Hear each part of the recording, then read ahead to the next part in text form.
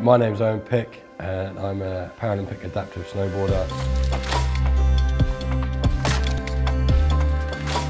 Joined the army when I was like 16, went to Afghanistan when I was 18. Kind of, I was there for about three and a half months and we went out on a patrol one day and I got blown up. I, I like I stood on an IED and it blew me.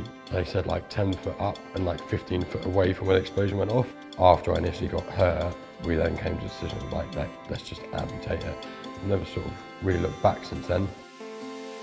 Like my goals is just to do the best that I can do with my disability, if you want to call it that, and just see how far I can push it. In my mind, I want to be able to ride exactly the same as any other able-bodied snowboarder rides. The competition side of it's fun and I, and I enjoy that, but it's not what drives me to snowboard. What drives me to snowboard is just being on snow and like, trying to really push the sport.